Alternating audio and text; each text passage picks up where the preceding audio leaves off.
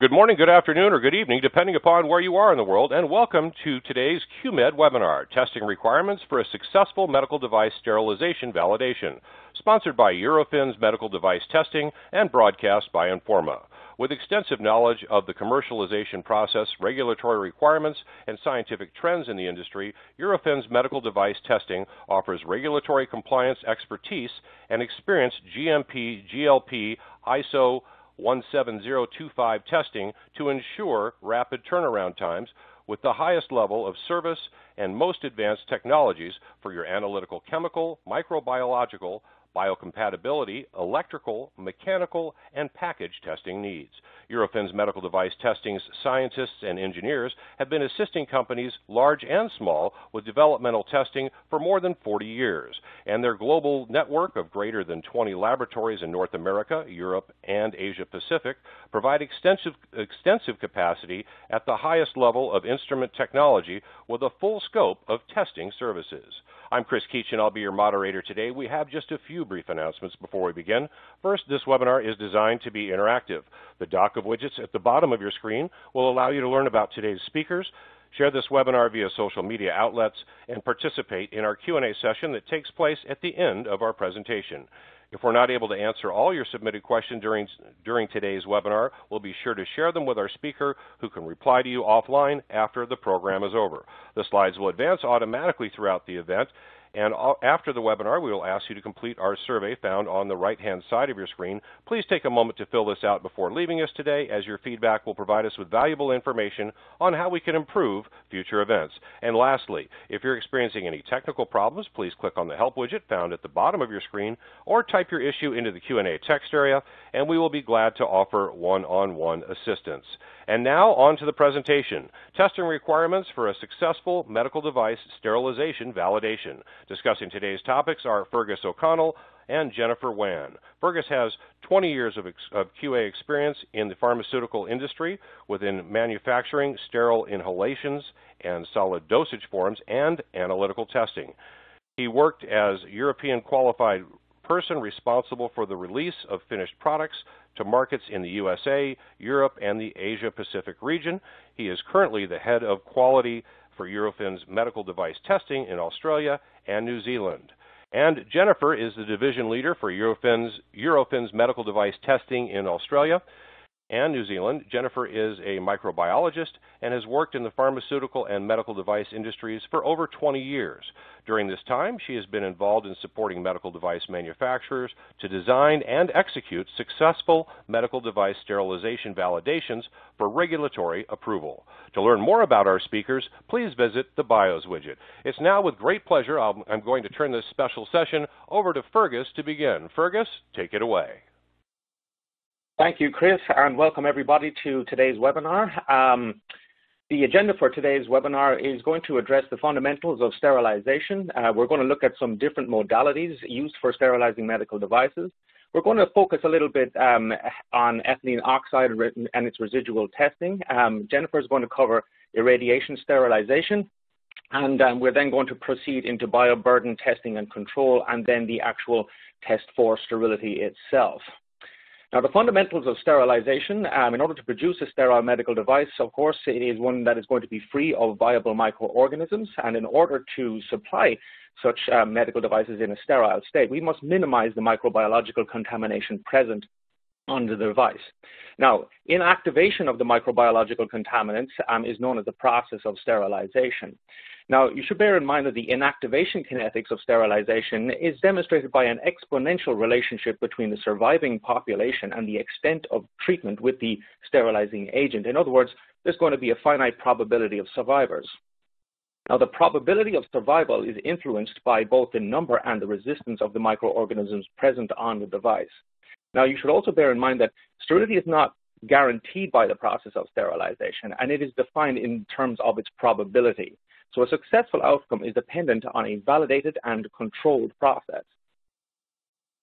So within this slide, we're going to look at some of the different modalities that are chosen by manufacturers in order to produce sterile medical devices. Um, now, the different requirements from the medical devices will influence which modality is chosen. And also, we need to um, assess the compatibility of the material um, that is being um, presented for sterilization. I'm going to draw your attention to um, the EO sterilization over on the right-hand side of the screen here, um, where the ability for gas to permeate um, into the product and the packaging and then dissipate out from the product and the packaging is essential to whether or not this modality can be used. Um, I will also note, note that um, the, the, EO sterilization process is compatible with the largest um, array of different materials versus the other modalities. At the bottom of the screen here, you'll, you'll look at the processing time. Again, when we focus on EO sterilization over on the right-hand side, we're measuring EO sterilization in a matter of days rather than in the hours, as is attributable to the other different modalities, um, such as uh, gamma irradiation. So why choose EO sterilization? Well, it's primarily used for heat and or moisture sensitive medical devices that cannot be moist heat sterilized by the traditional 121 degrees Celsius for greater than 15 minutes. So ISO 11135 describes requirements which, if met, will provide an EO sterilization process which is intended for um, med sterilizing medical devices, which, is a, which has appropriate microbicidal activity, and provides sterile products with a high degree of confidence. As mentioned previously, the purpose of sterilization is to inactivate the microbiological contaminants present on the, on the device. Now, when we're looking at ethylene oxide for sterilization, we must ensure that the levels of ethylene oxide, ethylene chlorohydrin, and ethylene glycol pose a minimum risk to patients during normal use of the product. And we need to assess these and consider these factors when we're, when we're um, designing our products, our medical devices. Um, and where an alternative material or sterilization process is available, it should be considered. And this is basically because ethylene oxide is known to exhibit a number of biological effects, such as irritation, mutagenicity, carcinogenicity, etc. Now, in practice, for most devices, ethylene oxide and ethylene chlorohydrin is considerably lower than a maximum value specified by ISO 10993. So when we choose or have made the choice to use ethylene sterilization, the exposure to um, ethylene oxide residues um, must be minimized. Now, we basically categorize um, medical devices based on their level of exposure, being limited exposure less than 24 hours, prolonged exposure between one day and 30 days, and permanent contact, which is exposure of greater than 30 days in duration. And there are different limits which are set for each of these groups, and we're going to get into that a little bit later in the webinar. So the keys to successful um, sterilization um, is going to involve a number of different factors, such as the microbial status of incoming raw materials and or components. And what we're talking about here is basically the total level of bioburden on the medical device when it is being sent for sterilization. We're also going to be considering the validation and routine control of cleaning and the disinfection process, um, the control of the manufacturing environment, the control of the equipment, processes, and personnel hygiene, and the quality of the packaging along with the product storage. And the type of contaminant on the device can impact success. So we need to define the entire sterilization process and all of the equipment involved. Now, if your process already exists, in other words, if you're using ethylene oxide for sterilizing one of your other medical devices, you and you're bringing a new product online or making a, a variation to an existing product, you only need to review the identify, identified variables um, which, is, which is required for inclusion in the process specifications for routine production. Now, next in our webinar, we're going to focus a little bit more on the following items, such as EO processing characterization, um, equipment characterization, product and process definition, and the validation of the process itself. So with EO sterilization, we have three distinct phases. There's the, the preconditioning, um, which, um, if used, involves time, temperature, humidity, and transfer time. The sterilization cycle itself, which involves the exposure, time, temperature, humidity, and I'm going to talk a little bit more about humidity in the next slide, and the pressure. And aeration, if used, is a factor um, of time and temperature. Now, we, I will note that here that aeration is only considered a process variable if aeration is considered to contribute to ensuring the microbicidal effectiveness of the sterilization process. So you need to define the product to be sterilized quite well. And in order to do that, you need to look at the microbiological quality of the, um, of the device prior to sterilization. Now, I will give you um, um, a quick note here that basically desiccated cells are, are known to be more resistant to ethylene oxide um, than than um, than normal cells with a normal um, level of moisture within the cells. And we can we also know that it's difficult to kill microbes which have been dried on impervious um, surfaces. Now, partially uh, this is partially overcome by increasing the relative humidity um, prior to sterilization and also during the sterilization process itself. So this is, this is quite important. We must also define quite well the manner in which the product is to be packaged and presented for sterilization. Now, as part of your product design, you're going to be um, you're going to be looking at certain configurations and um, and packaging, etc., which must allow the removal of air, which if, if, if that is applicable, it must allow the penetration of heat, humidity, ethylene oxide gas, obviously, during the sterilization process, and the removal of ethylene oxide gas at the end of the process. So the sterilization process, like any other process in manufacturing, must be defined with equipment um, for which has undergone installation qualification and operational qualification. I'm not going to focus on those two elements. I think everybody in the industry is, is well, averse, well across those. But performance qualification used, um, uses a product and or a material to demonstrate the equipment consistently operates in accordance with predetermined acceptance criteria and the process produces a sterile product. Now, performance qualification should be carried out for each new process, including process modifications and or product. We're now going to focus a little bit on the performance qualification specifically used for ethylene oxide sterilization and testing. So, EO performance qualification consists both of microbiological and physical performance qualification. I note this is performed in equipment used to actually sterilize the product during routine manufacturing.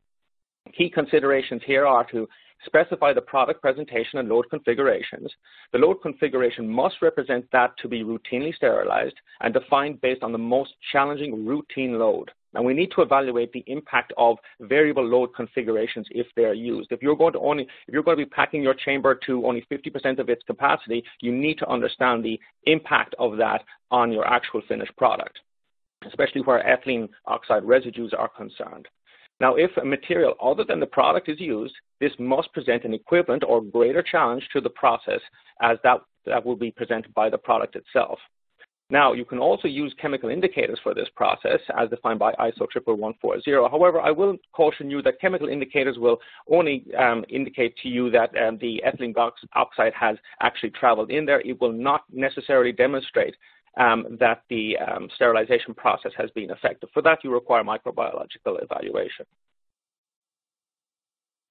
So in order to, uh, to demonstrate microbiological uh, performance qualification, we must demonstrate that the, um, the requirements for sterility have been met and we need to study, um, uh, uh, we need to study basically the performance of the process at certain parameters to um, and ensure that they deliver less lethality than the specified EO sterilization process. Now, this is used to confirm the effectiveness of the defined process for the product or load combination. Now, when we look at cycle lethality, we have one of two methods um, which we will use in the laboratory um, and in the process basically to determine whether or not the cycle um, is, is effective and also determine how much exposure a medical device is, is required to receive in order to achieve that sterilization. So the, we can use the biological indicator or the bioburden approach, and this approach combines knowledge of the resistance of a biological indicator to a given sterilization process, um, the knowledge of the bioburden population and its resistance um, itself, and it's used to establish the process parameters that we're going to use during normal manufacturing. Now, this particular approach requires um, a product bioburden levels, levels to be relatively consistent over time. And we mentioned earlier about manu- uh, controlling your incoming raw materials and your manufacturing process. This is what um, this is what um, this is particularly pointing to. And we also want to know about the biological bioburden resistance to be equal to or less resistant than that of the biological indicator itself. Now, both of these items must be demonstrated as part of the um, evaluation study. Now, to demonstrate the resistance of the positive, positive control devices, we need to run cycles at graded exposure times, or we can expose graded BI populations to a single sterilization exposure time. And what I mean by graded biological uh, populations here is that we have biological indicators with different numbers of spore, spores present on it, and then we will assess which ones will show growth and which ones will um, have been actually sterilized by the process um, that, we, that we're proposing to use. So for biological indicators, we need to uh, demonstrate that the incubation times um, that, or the sterilization process um, is capable um, of recovering growth um, if it is present on the biological um, or positive um, device control, or positive control device. And we basically need to show, or at least to demonstrate, that we can, we can, we can recover any delayed outgrowth of spores if they are present. So determining the lethality of the process after a time-graded exposure or, as previously mentioned, the population-graded BIs, we do it by either direct enumeration, a fractional negative method, which is determining the number of PCDs which have been sterilized against those which have not been sterilized, or a combination of both. Now, when we're using this, we need to ensure that all other process parameters remain the same, otherwise the data cannot be directly compared. Typically, medical device use, uh, manufacturers will use an overkill procedure, which is um, creating those PCD devices that we mentioned earlier on. Um, and it uses um, BIs with known number of microorganisms and with known resistance to ethylene oxide. And it places BIs in the product itself at the most difficult to sterilize locations, or we inoculate the product um, at the most difficult um, to sterilize locations. If the utmost or most difficult to sterilize location cannot be achieved, you need to establish the relationship of the location that you're using against that which you have proposed to be the most difficult to use. Now, you can use PCDs with equivalent or greater microbiological res resistance to the sterilization pro process than the, um, than the product itself. Now, in order to um, employ an overkill approach, we have to establish what the half cycle um, is going to look like. So we basically have three consecutive experiments which result in total inactivation of the biological indicators. Now, the biological indicators will be greater than 10 to the 6 um, spores on the, on the device and will be placed into a positive control device.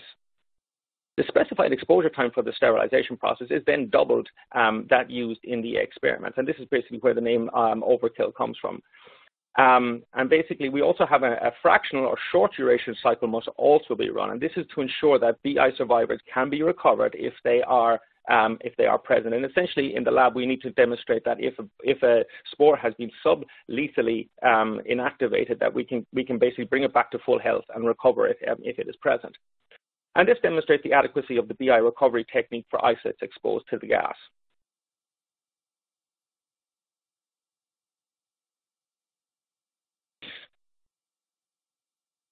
Now, the cycle calculation approach uses a graded exposure um, to the standard BI populations or a population graded BI is exposed to a single EO exposure time previously discussed. And again, the routine process parameters that deliver at least a 12 standard log reduction shall be calculated and then used during normal, normal production.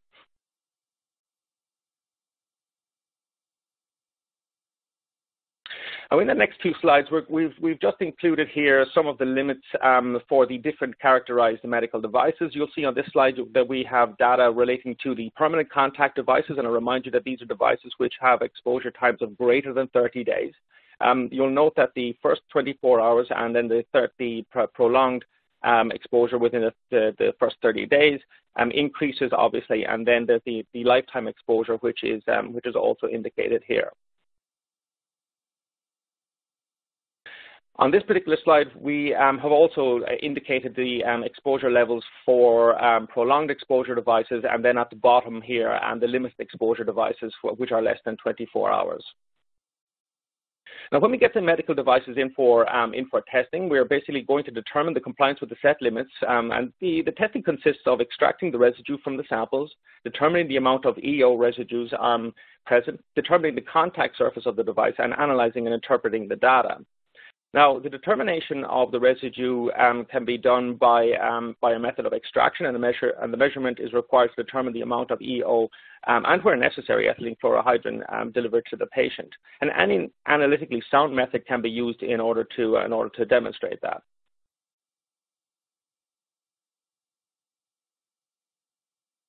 Now, when we're into our, or designing our medical devices, we need to um, take a number of different considerations into into um, into um, or bear them in bear them in mind. There's an enormous diversity of materials and methods um, used to construct medical devices, and some present problems, or greater problems, um, in determining residual um, ethylene oxide and ECH levels. than others. examples such as of challenging device designs include including devices with long tubing with small internal diameters, these prove difficult for the gas to enter and then to dissipate post the sterilization process. But also products which are packed in multiple Tyvek packaging, and the packaging will stop or reduce the entry on dissipation of the EO gas out from the device unless sufficiently aerated. Stockinettes in cotton and terry materials are also highly absorbent and generally they have a very high EO levels. Um, if these are tightly packed, for example, um, the most difficult, um, the most of the surface area is sealed and therefore aeration will not proceed. Now, if we use heated aeration um, during the, um, the post-sterilization, post-sterilization process, it helps to reduce the levels into compliance. Plastics, especially hard plastics, are also notoriously uh, difficult um, to, um, to, dissipate. They will retain high levels of ethylene oxide, and heated aeration is, um, is again increased or helps to reduce the level of, um, of ethylene oxide present on the device. So when we're selecting um, med or uh, samples for testing, we need to uh, factor in a number of or consider a number of different items. Um, the material composition, whether or not it's going to um, absorb or retain um, ethylene oxide gas. The packaging needs to be considered um, as these materials vary widely in their abilities to allow the penetration of gas. Um, and also packaging and, and, shipping container densities are sources of vari variability as well.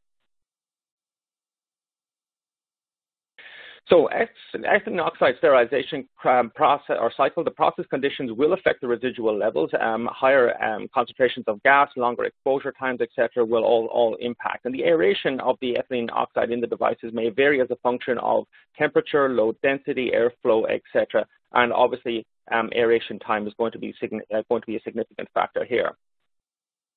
Now, when we're um, selecting an appropriate extraction method, again, we go back to how we have characterized the, um, the medical device in the first place. So limited exposure devices are, um, are extracted using simulated use, um, and permanent contact devices uh, use an exhaustive um, extraction process. Now, devices in the prolonged exposure category must also meet the residual requirements of limited exposure, and devices in the permanent contact category must also meet the requirements in the prolonged exposure and the limited exposure uh, categories, whichever extraction condition has been used.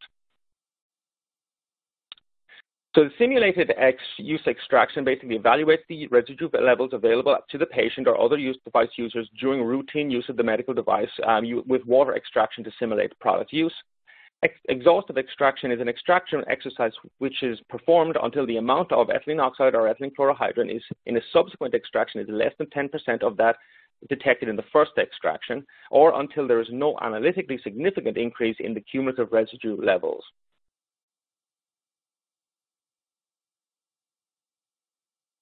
So simulated use extraction and using total immersion, um, once the device is too large to be extracted in its entirety, is necessary to extract several portions of the device components in one of two ways. We take, if several varied materials are used, a portion of the component as compared to the total sample mass um, should, should reflect the ratio of that component to the total mass of the device being tested, or we select one of the components for testing subsequent to an evaluation demonstrating that it presented or represented the worst case with regards to residual testing.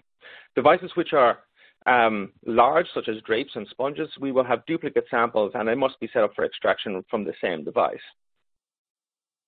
Just as a quick um, case study, um, just uh, for an implantable medical device, just as an example, if we're looking for a sterility assurance level of 10 to the 6 um, and it's a permanent um, contact device, um, we're going to have allowable limits of 0.1 milligrams per day. The extraction method that we would select inside the lab for this analysis will be simulated use, including exhaustive extraction.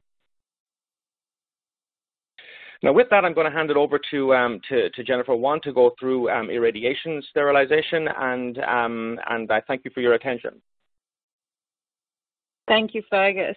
All right, today I'm going to talk about irradiation sterilization. Specifically, we're going to have a look at the testing requirements that are used in establishing the sterilization dose when employing the method of irradiation sterilization.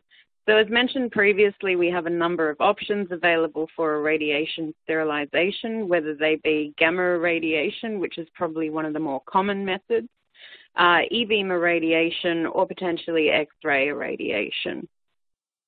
So today for, uh, for the case study, we'll be taking a closer look at gamma irradiation. Uh, we're going to follow specifically the ISO standards, which set out very specific and prescriptive requirements on how we establish the doses and the subsequent validation, testing and monitoring that are employed in controlling these processes. So two approaches can be used to establish the sterilisation dose. We can either do this through a dose setting exercise to obtain a specific dose that we intend as our sterilisation dose, or we can use a dose substantiation to verify a pre-selected dose more commonly uh, at the upper limit of, say, 25 kilogray, or potentially a lower dose of 15 kilogray.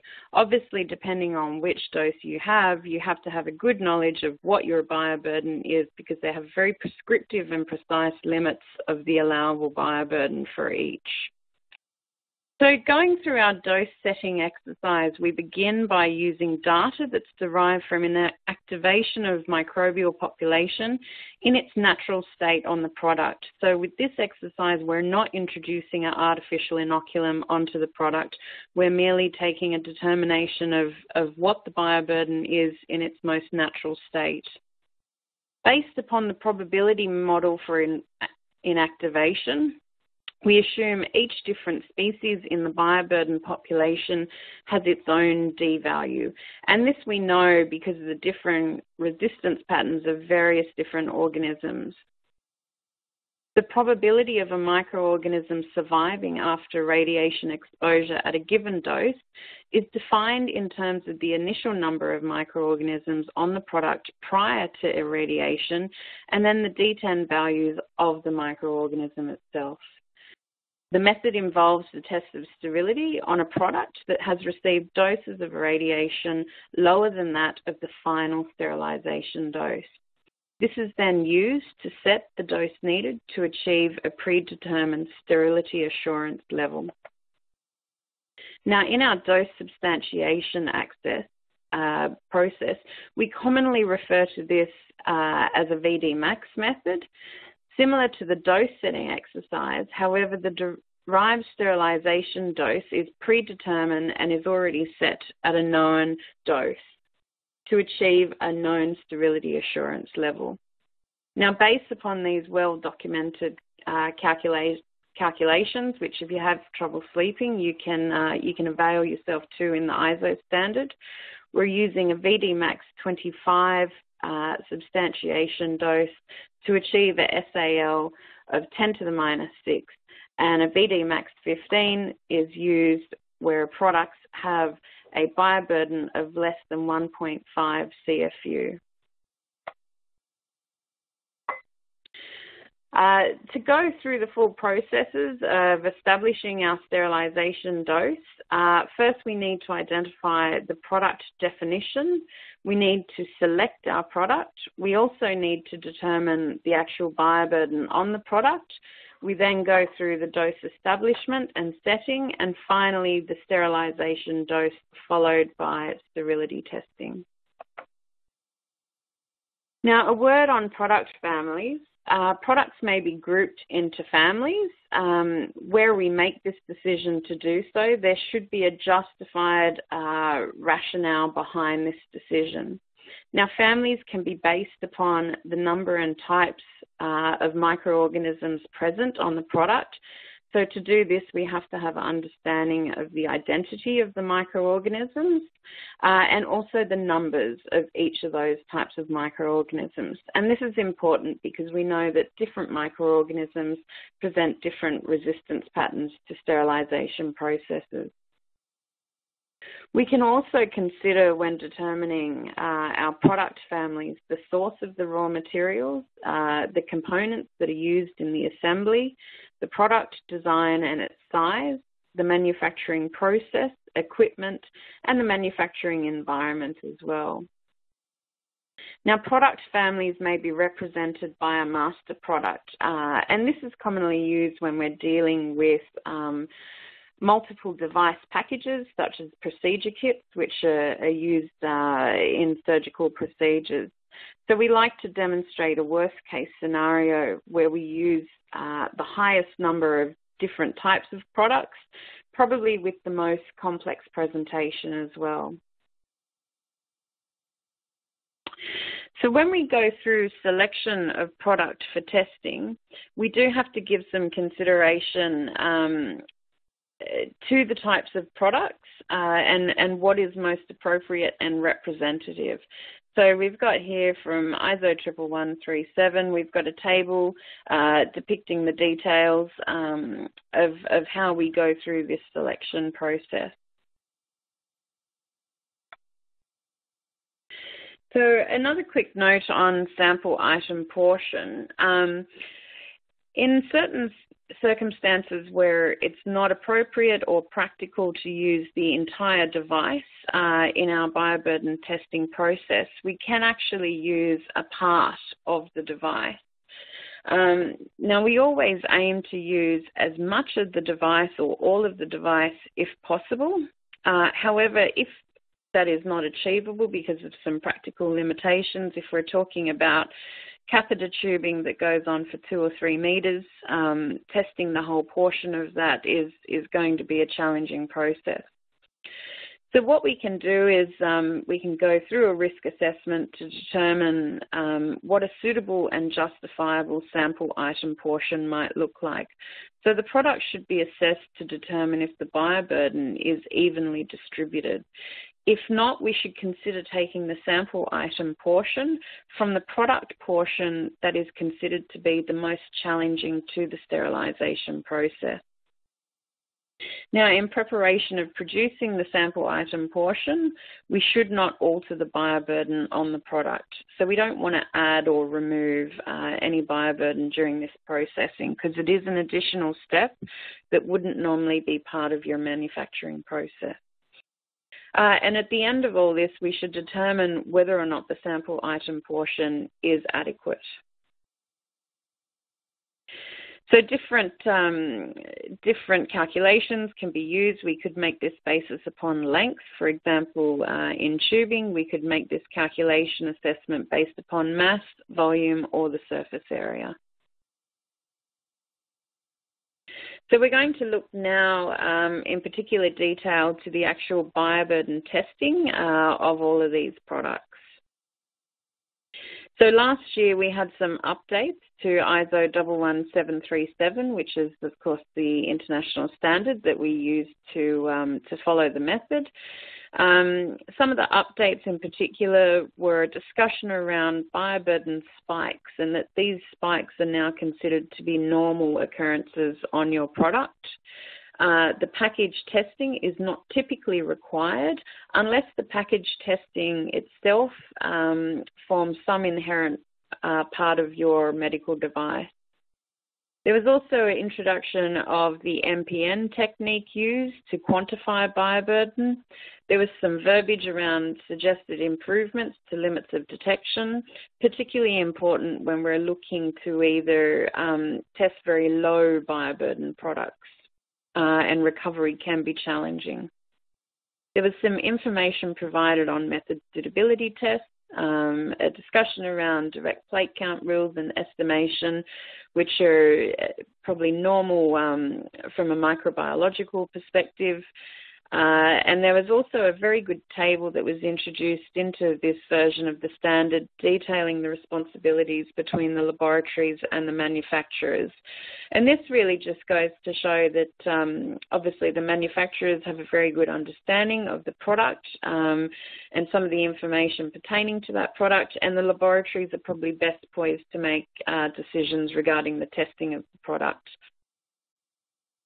Uh, and there was emphasis placed upon um, risk-based approaches.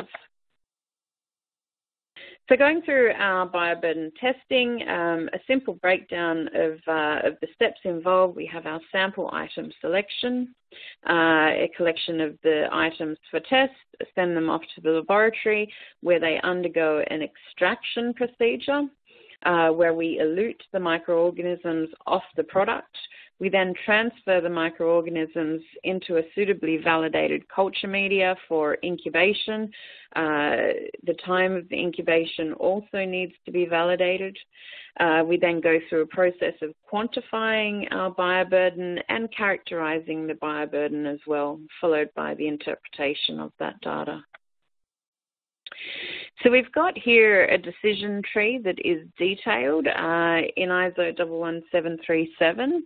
Um, and really this is, I suppose, to help us guide us uh, into determining what are possible techniques. This is not an exhaustive decision tree, but it is a practical tool that's used uh, certainly in our laboratory when deciding which is the most appropriate method of microorganism removal from a device. So some of the uh, techniques that we may use, we may use um, a mixing technique, we may use um, a sonication technique, um, and we can also use um, a, a, manual massage technique. Uh, we tend not to use a swabbing technique if at all avoidable, simply due to the low recovery uh, of, of that particular method. Um, so we've just got here a discussion on the extraction procedure and two approaches that we can take to determining how sufficient uh, or effective uh, that um, that extraction procedure is. So um, there's there's basically two approaches we can use, which is a repetitive rinsing technique, which means that we um, we submit the device to multiple extractions and we enumerate in separate elution portions uh, the numbers of bioburden coming off that product in each rinse. We then look to determine where the most significant drop off is and we use that to determine our correction factor for, uh, for the recovery. We can also use an inoculation technique, which means that we artificially seed um, a, a bioburden, a spore suspension, for example, a known type of organism and a known quantity of organism onto the product. Because we know how much we put onto the product, when we determine what we're recovering, we can very easily uh, express the recovery rate uh, as a percentage. So we've got a, a, quick example of a calculation that we can run through um, to show you how this is determined. So here we've used um, we've used an inoculation technique where we've um, inoculated an average count of 100 CFU uh, onto the device. We've tested three devices. We then determine the percentage recovery of that device. Uh, and then we, we work out our correction factor based upon that. Now, there's probably two ways that you can apply uh, the correction factor data to your final result, and that is to simply take an average um, of the multiple um, recoveries that you've derived, or you can actually use um, the lowest recovery and apply a worst case scenario so that you're not in danger of underestimating your bioburden. Now, with the enumeration uh, of our bioburden, there is a number of techniques um, that we use in the laboratory where we um, have a different range of media available uh, for use, and that's really going to depend on what types of organisms we're expecting to recover. So you do have to have some pre-knowledge, if you like, of, of what your anticipated population is going to be, and this should be established as part of your validation program. Um, so some of the more common um, media that we use, tryptone soya agar, uh, nutrient agar, for example, if we're looking, um, for example, at uh, yeast and molds, we'll use a SDA agar or potato dextrose. Um, and we may also be looking to target anaerobic bacteria if, uh, if that is a concern for your product. Um, and then we've also listed there, um, or I should say the, the standard is listed suggested incubation conditions um, in terms of time and temperature. But again, this has to be suitably validated um, for your device and your population. So, in terms of characterizing the bioburden, again, uh, the reason that we're looking to characterize the bioburden is so that we have a good understanding of the different types of organisms that are present on the product. Um, there are different uh, techniques that we can employ with uh, differing levels of, of uh, sensitivity and specificity as well. So we could use a very crude measure such as uh, colony morphology on the plate where we're, we're looking macroscopically uh, at the different types of cultures that are present on the product. Um, a good microbiologist will, will probably be able to give you an indication of what that is likely to be at a genus level. Um, but uh, but you are relying on on some experience there, and there's a degree of subjectivity uh, in that interpretation, of course. Um, we could then go on to a microscopic method using uh, cell morphology, uh, where we're looking down the microscope um, a stain of a, a, pure isolate, where we'll be examining uh, the shape of the cells, the size, um, and the aggregation as well, can give us some indications of, of what that microorganism is likely to be. Um, different types of staining can also be used, um, but then we, we also have access to more modern and reliable techniques, um, which are, are, far less subjective than uh, than these earlier techniques, such as using um, species identification through uh, MALDI-TOF or through genetic sequencing to um, to get as accurate as possible. Uh, and again, this can be quite important when you're dealing with uh, different types of spore formers and you know that you're at your upper end of, um, of the allowable bioburden for your chosen sterilization design, uh, dose. So really, it's it's about selecting uh, a method that is going to be appropriate for uh, for justifying the risk where you're at.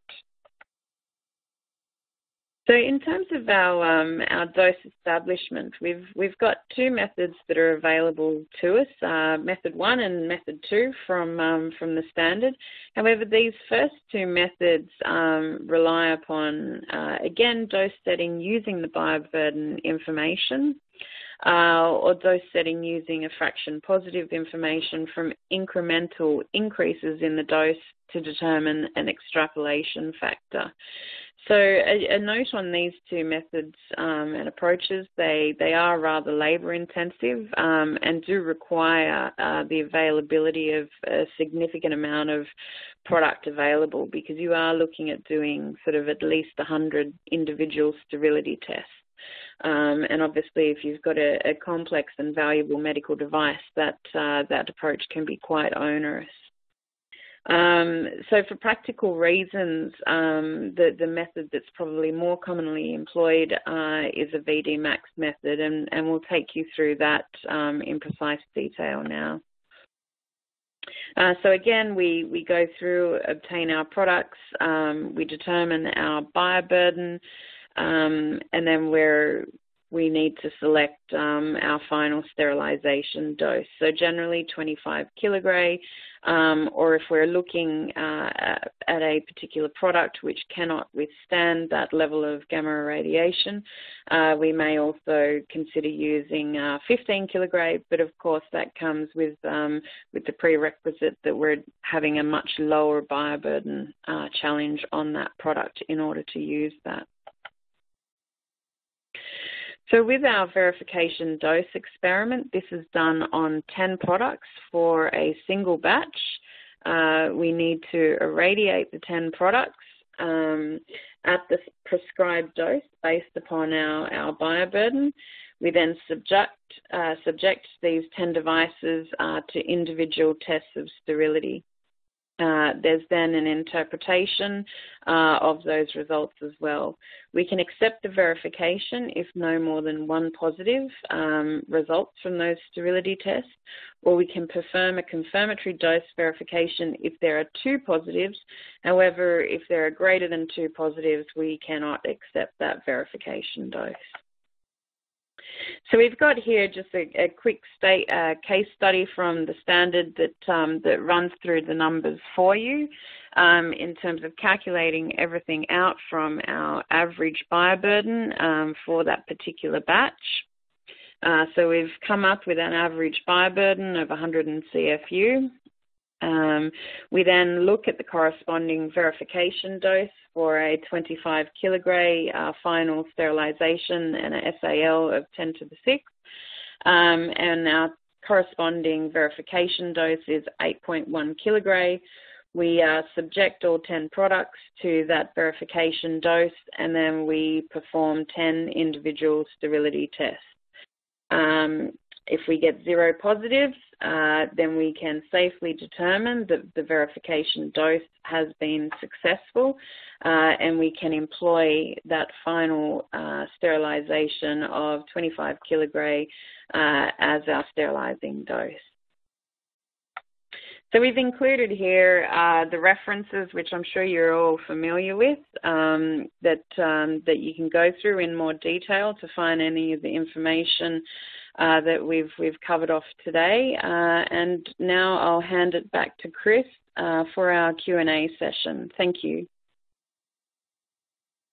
All right, thank you, Jennifer, and thank you, Fergus, for a great presentation. We're now going to move on to the question and answer portion of our event. As a reminder to participate in our Q&A session, simply type your question into the text box located to the right of the presentation window or click on the Q&A icon at the bottom of your screen. Type your question in and then click the submit button. Please note that we'll try to get to as many questions as we can in the time that we have left. If we're unable to get to your question today, someone will get back to you after the program is over. So with that, let's get started with some questions. Got several questions, actually quite a few questions coming in. So we're going to get started here with our first one. Uh, which is the better sterilization method? I think really, Chris, that is going to be entirely dependent on what is your product.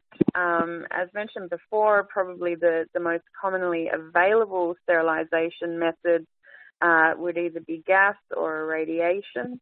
Um, and it really is going to come down to, to product um, compatibility. So there are some limitations with certain types of plastics and polymers, for example, um, with gamma irradiation, in that they simply cannot withstand that with, without becoming uh, quite brittle and, and fragile.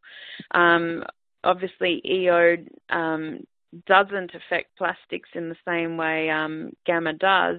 However, the EO gas itself is, is quite toxic, so we do have to ensure that we can go through an appropriate aeration uh, procedure to release the gas from the product um, and ensure that we haven't got residuals remaining after the sterilization process.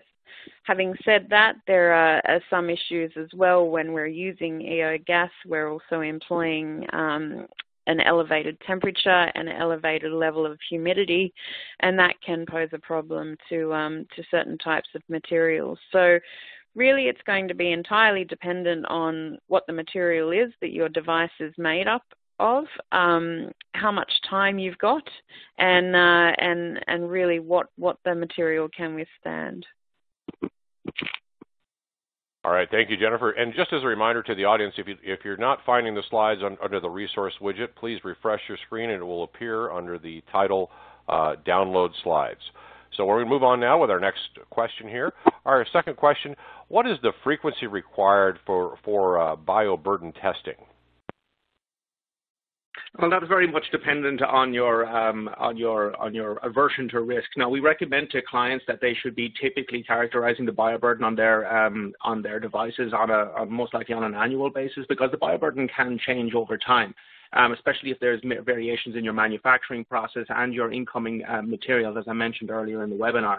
Um, so having control of those processes, um, then we are that is important um, to do. We can also increase um, to uh, to do that on a quarterly basis. Um, but um, again, it comes down to what your your your uh, your assessment of your process and the control of your processes. All right, thank you, Fergus. We have another question here that says, what level of bioburden characterization is required for EO sterilization? So for EO sterilization, you need to um, you need to characterize whether or not your uh, your particular bioburden is going to be um, resistant or more resistant to those uh, typically used as part of your um, your biological indicators. Now, Bacillus atrophaeus spores are typically used for EO sterilization processes. So you would need to need to demonstrate that your uh, that your your um, bioburden is um, is not more resistant to the uh, Bacillus atrophaeus spores if, in order to to demonstrate that when you use that particular organism to indicate your process or characterize your process, that you're um, that you're you're you're not um, basically underestimating um, the, um, the the the resistance of the bioburden normally present on the device. All right, thank you, Fergus. We have another question here that says for uh, bioburden validation, should we use only one run of media or also test on three runs of media? So with your with your media, um, so as long as your your media production process or your um, your or from whom you're using or sourcing your material, as long as they have been suitably qualified and the media has passed its um, quali um, quality checks, um, there is no distinct requirement to use um, separate lots of media. All right, thank you, Fergus. So we have another bioburden question here. So for bioburden approach, or for the bioburden approach, uh, we are not using PCDs? You, you, you, um, you're just basically determining the total number of your typical, your, your typical, sorry, the bio, bioburden count on your typical uh, device. Um, you can use PCDs, um, but for the, for, for the bioburden approach, you're, you're just, um, it's, it's not an absolute requirement. All right, thank you, Fergus. And uh, for a product with a, with low bioburden recommended is inoculate is uh, let me read this again here. For product with low bioburden recommendations is inoculation method. What bacteria are recommended, and what place should we inoculate on the product? So thanks for that, Chris. Um, good question. So when we're dealing with um, with the requirement to inoculate uh, a product to determine its um, the, the bioburden recovery method, we really need to, um, you, you want to use something that's particularly hardy to work with that's not going to die during the testing process. So using a bacillus organism, for example, um, and, and using a spore um, can alleviate some of those issues in terms of die off during the testing process. Um, and also in terms of where that product should be inoculated, you really should be inoculating it probably in really the, the most challenging areas um, that are going to be to extract the organism off that. So that's anywhere where there's a high degree of, uh, of folding or material layering, um, really getting into, into those hard to reach places. All right, thank you, Jennifer. Uh, another question here on the bioburden approach. How, do we choose BI and compare it, uh, its D value with the resistance of the actual bioburden, and how do we do it?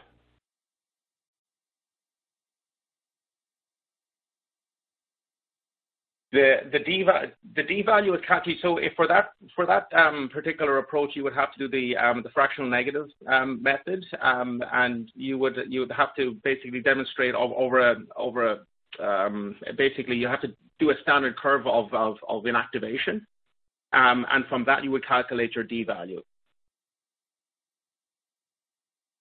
All right, thank you, Fergus. We'll move on to the next question here. Uh, which could be the best strategy to adopt or change from GABA uh, from gamma to to e-beam? So this is this is coming back to your characterization. This would be um, this would be conducted using a risk assessment approach. Um, you'd have to uh, characterize your um, your your product and its compatibility with the with the e-beam um, e-beam sterilization modality. So again, going Thank back to Jennifer's earlier okay. point, there's, there's, there's, no, there's, there's, no, there's no sterilization method that is necessarily better than the other. They, they are all capable of achieving sterility. It's just whether or not the, um, the material compatibility with the sterilization mod modality lends itself to that method of sterilization. All right, thank you, Fergus.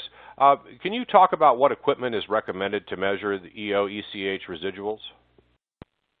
Yeah, sure. So um, that's a volatile gas, and we use um, we we determine the quantification um, by gas chromatography uh, with a FID detector. Thank you, Jennifer. Looks like we have another question here that says, um, if packaging sterilization and shelf life is validating uh, using gamma, would one need to validate again for e-beam?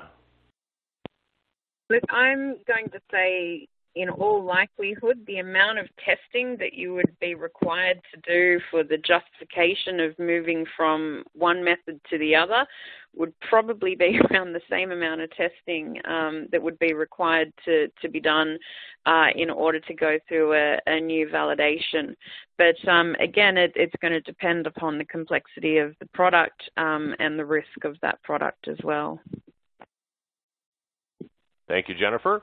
Uh, another question came in that asks, how do you know the inoculated challenge will have the same adherence and recovery as the wild population? Look, that's a good question, um, and that's not something that you can easily uh, identify or quantify, which is why the standard um, really does guide us to wherever we can um, to use um, to use the natural bioburden present on the product. Having said that, we do try and ensure in the laboratory when we are inoculating the product um, that we do it, I suppose, in the same fashion that um, that we would in terms of um, how the device would would come to um, have bioburden on it, for example. So we um, inoculate the uh, bioburden relatively evenly, and we also ensure that we allow the device um, to dry before um, before we go through an extraction process. All right, thank you, Jennifer. Uh, another question here asks, how often do you need to to, uh, to do a dose audit verification? Yeah, so the, the dose audit verification again, it's it's going to come down to I suppose what um, what experience you have with that particular product. Um, but I would say as uh, as a minimum requirement, you want to be doing this quarterly. Thank you, Jennifer. A lot of questions coming in, and again, as a, as a reminder, if you'd like to ask a question, just type your question into the Q&A text area or click on the Q&A icon and type your question in, click submit. We'll get to as many as we can here in the few minutes we have left. Again, if we didn't get to your question today or if we don't get to your question today, someone will get back to you after the program is over. So let's continue on with some more questions. Uh, another question here says, does external PCD have to be more resistant than the internal PCD? Yeah, so um, so there is a requirement where we are um, applying the PCD to the outside of the device.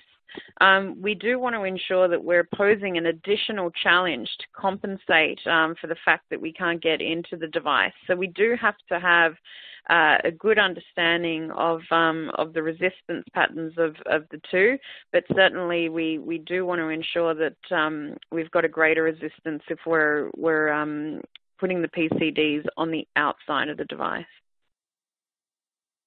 All right, thank you, Jennifer. Looks like we have time for maybe one or two more questions here. So our next question, what are the best practices for reducing or controlling bioburden? Um, certainly, so this needs to come into part of a, a broader bioburden control strategy um, used through the manufacturing process. So that can be everything from monitoring your incoming materials, uh, monitoring the environment, um, and controlling the environment um, that you're doing your manufacturing process in. So that could be, for example, doing the process and the manufacturing uh, in a clean and controlled environment, for example, a, a clean room.